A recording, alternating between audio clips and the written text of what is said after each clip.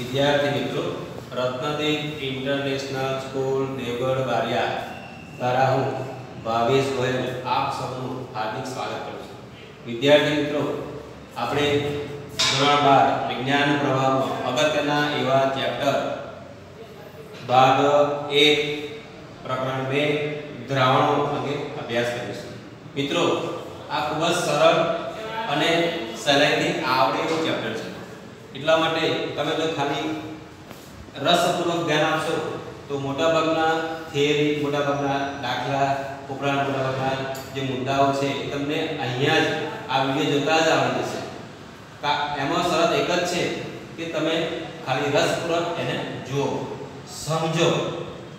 અને આપણી રોજિંદા જીવનની અંદર જે નવી નવી વસ્તુઓ બદલાયા કરે છે, ફેરફાર પામે છે, પરિવર્તન થયા કરે છે, એ જ ઘટનાનો અભ્યાસ અહીંયા વૈજ્ઞાનિક દ્રષ્ટિકોણ સાથે સમજવાનો છે.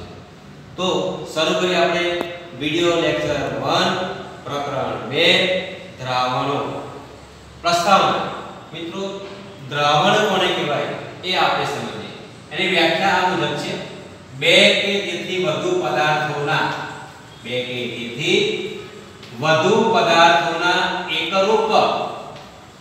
સમાંત મિશ્રણને દ્રાવણ કહે છે.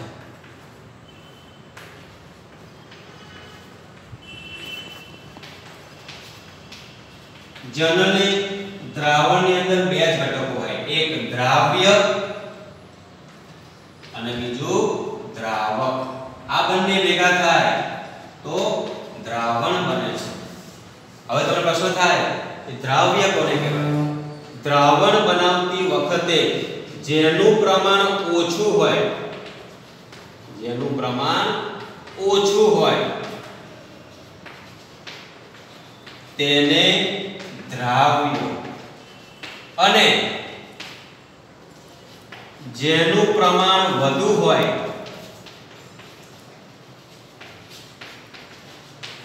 તેને દ્રાવક કહે છે.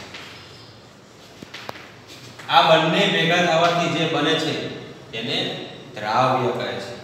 ઉદાહરણ તરીકે મીઠાનું પાણીમાં દ્રાવણ.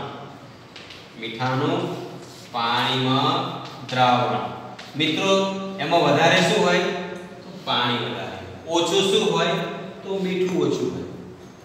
તો આ જે દ્રાવણ તૈયાર થયું, તેમાં જેનું પ્રમાણ ઓછું હોય, તેને દ્રાવ્ય કહે છે.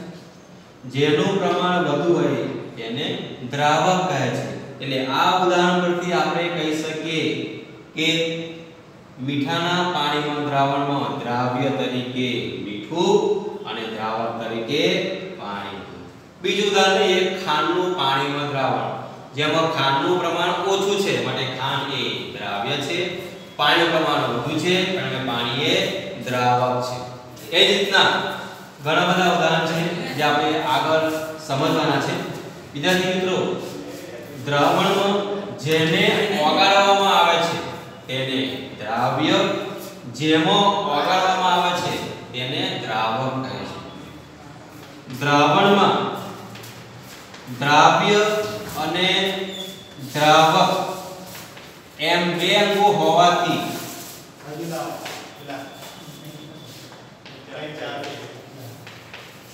હોવાથી દ્રાવણ દ્વિઅંગી છે. આપણે બાયોલોજીમાં આવે છે. એક જ અંગ ધરાવતી વનસ્પતિને એક અંગી વનસ્પતિ કહેવાય. બે અંગો ધરાવતી વનસ્પતિને દ્વિઅંગી વનસ્પતિ કહેવાય. ત્રણ અંગો ધરાવતી વનસ્પતિને ત્રિઅંગી વનસ્પતિ કહેવાય. એમ દ્રાવણમાં બે અંગો આવે છે. દ્રાવ્ય અને દ્રાવણ. તો આવા બે ઘટકો ધરાવતા મિશ્રણને આપણે કહીશું દ્વિઅંગી માટે દ્રાવણ દ્વિઅંગી છે. દ્રાવણમાં જે ઘટકો આવેલા છે, એ આપણે નરી આંખે જોઈ શકતા નથી. જેમ કે મીઠાને પાણીમાં નાખ્યા પછી આપણે કહી શકીએ કે આ મિશ્રણ છે, એમાં મીઠું આ છે પાણી છે. ખાંડને પાણીમાં ઓગળ્યા પછી જે ખાંડનું દ્રાવણ બને છે, એમાં આપણે નરી આંખે કહી શકીએ છીએ કે આ મીઠાના કણો છે, આ ખાંડના કણો છે કે આ પાણીના કણો છે. નથી કહી શકતા.